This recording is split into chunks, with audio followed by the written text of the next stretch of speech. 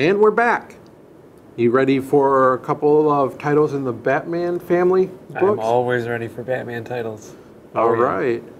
Well, we're going to go with the black sheep of the family. Red Hood and the Outlaws, number one. Dark Trinity, part one Fathers and Sons. In a flashback sequence, we see the relationship shown between Ma Gunn and Jason Todd slash the Red Hood. And in the present day, Red Hood rescues Ma Gunn from an exploding building. Ma Gunn has refused Black Mask's orders to work for him, causing her and her orphanage to be part of a target of the bombing. Red Hood does intel on Black Mask, meets with him, and is offered a position as his second in command.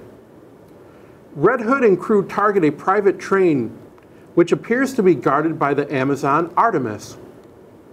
So we get to see a bit more backstory on Jason Todd with his time at uh, Ma Gunn's school for, uh, you know, er, school slash orphanage slash criminal and training institute. Yeah. Future criminals of America Yeah. in Gotham. yeah, yeah, and, and it looks like Jason has a pretty close relationship with her. Yes. because he went uh, must have gone undercover to infiltrate that so batman could take her down I think he's I was still he's still very close to her Yeah, I think it was Batman or Bruce Wayne sent Jason Todd to the orphanage Mm-hmm. at first, and then found out that it was a criminal enterprise. And then he went as Batman to take her down, and Jason helped him take her down too, which was kind of weird. yeah yeah and then you know however many years later here he is giving her Mm-hmm. cpr on the you know i mean treating her like a grandmother or an aunt Yes. or someone that's that that that's really interesting And she even recognized him too. Yeah, so briefly, He must, yeah, must have made an impression. Yeah, yeah, or, or at least she kind of thought she recognized him, then said, Yes. "Oh, you just you remind me of someone I knew years ago." Mm-hmm. So he's not he's not completely compromised yet. No. But here is something I thought of when I was reading it. Black Mask is a relatively new villain to the Batman Batman mythos. And now we have a different take on Black Mask. Yeah, yeah. The the the Black Mask is one of my favorite Batman villains, just because he was kind of different. Because originally he was the heir to a like a cosmetics company. Okay. that Wayne Industries bought out. They bought it out. His dad, who was like the founder of the company, died around that time, and then Bruce Wayne decided to liquidate that company because he said it wasn't profitable enough. So the Black Mask really became the Black Mask because he wanted to take revenge on Bruce Wayne. He was like the only Batman villain who wanted to go after Bruce Wayne and not Batman. And now we get the new backstory that he was actually born into a criminal family. He's still he's still Roman Sionis, which made me mm-hmm. made me happy. But he was born into sort of a mob family. He offed apparently both of his parents at some point, which is very different than the you know, the mourning Black Yeah. Mask who who made his original mask out of like a chunk of his dad's casket. That's what that's what the original mask Okay. was. Like he carved that out of his tomb or his casket or something. And so it, it's a it's kind of a different origin, but he still ends up being you know, the very ruthless, very Yes. I mean, just willing to bl- I mean, he was willing to blow up an orphanage which was supposed to be full of children Yep. you know, that's, I mean, that's kind of how the Black Mask ended up pre Flashpoint before he got killed by Catwoman because he, he did some pretty sick stuff. So it looks like they're setting him up to be a really sadistic villain. Right. Yeah, he was quite sadistic reading that. Um, and when Red Hood goes undercover, trying to infiltrate uh, Black Mask, he, they talk about this, uh, you know, everything will be all right tomorrow. But there was that TO virus that was in the mayor. Yeah. So what do you think that connection's going to lead up to? I, I saw the TO and I started to think maybe that's T.O. Morrow, the old Superman Justice League villain. Okay.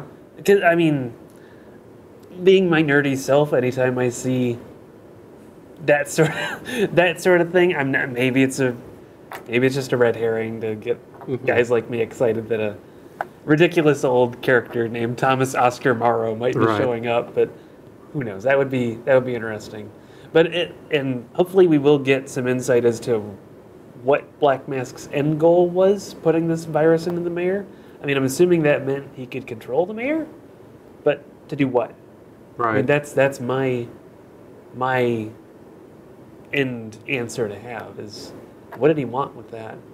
And then at the very end, we get Artemis, yes. who's on a train that's supposed to be supposed to not have any people on it, and you know Jason breaks in and here's Artemis, who we know is going to be you know one of the the eponymous outlaws at some point.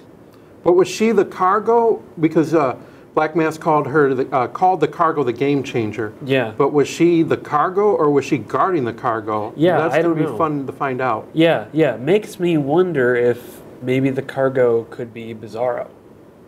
Mm. You know, maybe that's maybe he's sort of intercepting a shipment from like LexCorp or Okay. something. That would be kind of cool, but that still doesn't explain how or why Artemis would be Right. there.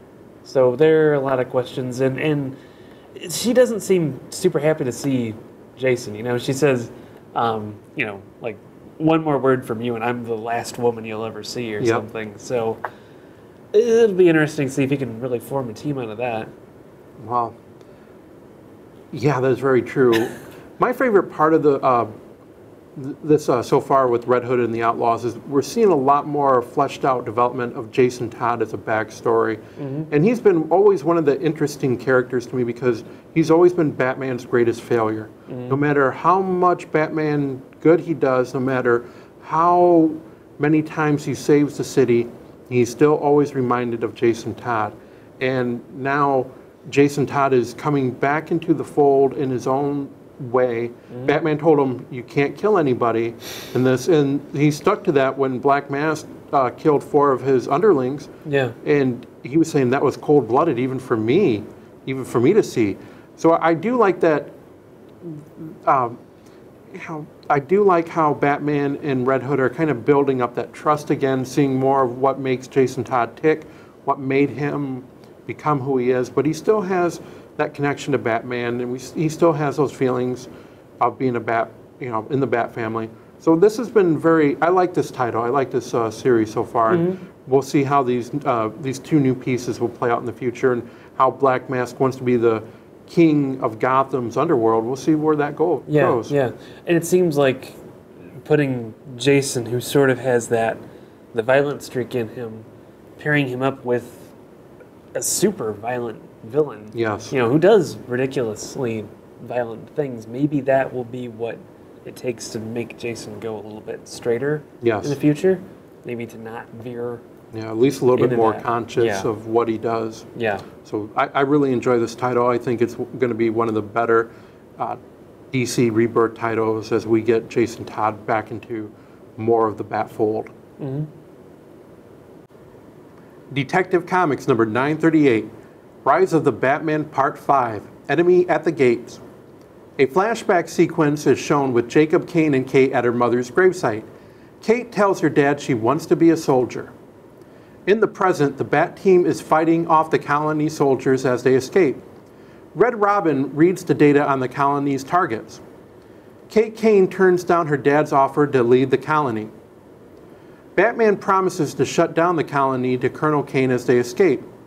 Ulysses shows Colonel Kane the upgraded Bat Eyes they are ready to target their objectives. Colonel Kane gives the order to launch, putting the innocents of Gotham also at risk. Well, we finally find out more of Jacob Kane's motivation and backstory. He's been kind of doing this all for his daughter. Yeah, yeah, and he's he's been following the League of Shadows for the government for a long time because we mm-hmm. see that file being handed to him Right. in that flashback, which says League of Shadows. So he's been doing this research for a really, really long time, yes. and he's obviously invested a lot in this. And you know, he wants this is this is all for Kate. Yes. I mean, Kate wants to be a soldier like him. Mm-hmm. You know, she sort of is her own soldier now, but this is Jacob offering her to be a soldier on her terms and on his terms. Yes, that he built this Sort of. all for her. Yep. This is her legacy that he's created for her. But the way he built it, she doesn't want any part of it, at least Yeah. for now. Yeah, yeah. Well, and it's interesting too because Jacob's done this much work on the League of Shadows, as Batman's sort of leading his team out of there, and he's briefing them on what's going on. He apparently knows they don't exist. I mean, so that's of he's the pretty sure they yeah, don't he's, exist, yes. He's, yeah, he's dead certain.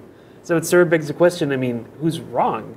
I Right. mean, i- is I, it's hard to think Batman would be wrong, given that he's probably Right. dealt with Ra's al Ghul more times than Jacob Kane has. Right. I mean, he's met him in person. I doubt, I doubt Jacob has, and it, it sort of reeks to me that maybe this is Ra's trying to push buttons. Mm-hmm. You know, maybe he's just trying to give them a threat, and then make that threat out to be, you know, members of the U.S. itself. Right. And he doesn't even have to bomb anything. He just Mm-hmm. he waits for Jacob to push the buttons and and kill innocents on his Mm-hmm. own. Yeah, that, that was pretty scary of all that firepower and all those targets that they had on that computer. Yeah. That was pretty scary, but what was scarier is for someone that said the team wasn't ready, Batman was kind of proven wrong. Yeah, yeah. Um, it sort of makes me wonder if Batman didn't throw that fight against the uh, the colony troopers, because he, I mean, a bunch Yeah. of them took him down, but you know, Clayface takes out seemingly everybody, and Yes. and they don't seem to have anything that can neutralize Clayface. Spoiler makes a bunch of their grenades go off remotely, nearly killing Tim Drake in the Yep. process. And you know, she just says, "Oh, that was just a just a fluke." I mean, Tim hacks their computer, Yes. and of course, you know, Cassandra Cain, the orphan, takes out a mother load of colony guys one on one, you know, with with just a few scratches. So, I mean, and Batman's still saying, "Oh, you shouldn't have brought them. You didn't Right. bring them." yeah, they weren't ready. Well, Yeah, uh, I, well- I would hate to see if that was not ready. What's Yeah. going to happen to this team when they're ready? Yeah. Because they were operating pretty well, and, and I think the colony's very well trained. They model themselves after Batman, but they're not Batman. Yeah. They're not Bat. They're not the Bat team. Yeah, they they they got they kind of got thrashed at that Yes. point. Yeah, it's like at this point, Batman just give them their black belts now. Yep. I think they've earned it. This is the, the level up. Well, Yeah. after the fight, after Batman tells, uh, he gets everyone out, Colonel Kane and Ulysses talk, and they have to kind of accelerate their timetable, and those Bat Eyes, the Bat drones, are getting ready to launch. And now it's kind of like they're going to just shoot anything and everything that they've had pinned down.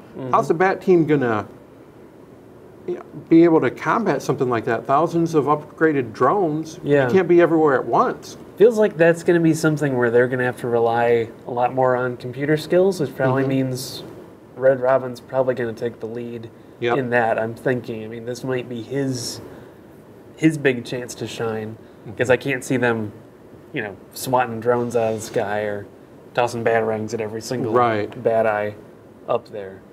You're very right. I think that next issue, 939, is going to be very tense, and um, we're going to see. Like I, I agree with you. I think Red Robin is going to take the lead there because he is the smartest person, genius IQ, and he's going to be able to do something. But as a team, they function pretty well. Yeah, they seem to function pretty darn well. Yeah, I mean, I mean, they save Batman. You, you got to get an A plus in the book for saving Batman. Mm-hmm. Yeah. So. And even Clayface fits in in his own Clayface-ish way. oh yeah, yeah. I think I think Clayface sort of has enough of the unexpected that the colony wasn't expecting. They were Yep. expecting guys like, you know, martial artists and ones who think with their brain, Yep. a big guy made out of mud who's just, you know, gleefully beating the crap out of them. And you know, and Batman kind of says, okay, Right. let's let's not take it to that level. But Where does this rank on your Clayface scale that we talked about a few episodes ago? it it's it's fun. I, I, I went into this thinking, oh geez, the colony is gonna have some, you know, big electrified net or something Right. they drop on Clayface and that's gonna be it. You know, he'll be down for the count. But I was I was happy to see him not get taken out. I was happy to see really none of them get taken out. Mhm. I mean they, they held their own and that's that that really puts this team um, on a pretty high high pedestal. Yeah, that's very true. Uh, Detective is one of my favorite issues, series as well, and it Mm-hmm. Yep, keeps on going likewise. strong. Yeah. And we'll see where it goes from here. And with that, we're going to take our final break. And when we come back, we are going to discuss Wonder Woman number three and Wonder Woman number four. We'll be right back.